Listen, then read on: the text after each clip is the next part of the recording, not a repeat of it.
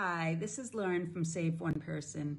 So now that we're moving into 2022, one New Year's resolution we can make, or you can make, or just a little tidbit of information I learned from the medical medium, uh, how to maintain your health and how to have a healthy lifestyle. You know, one thing I learned is small little shifts, small little, like you don't have to go all vegetarian and all keto Small little shifts over time change the trajectory of your life.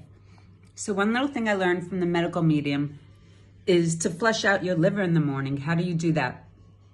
Drink four glasses of water, drink it in the morning.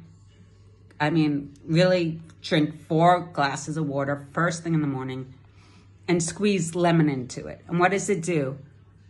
Drinking the water first thing in the morning flushes out any toxins in your liver we want to keep our liver as clean as possible. And the lemon alkalizes your body. So it alkalizes your body first thing in the morning. And that's one little tip from the medical medium that I'm passing on to you that we can do to empower ourselves for a healthier lifestyle moving forward in the new year. Wanted to share it with you. Happy and blessed new year. Many good things and uh, save one person, save the world.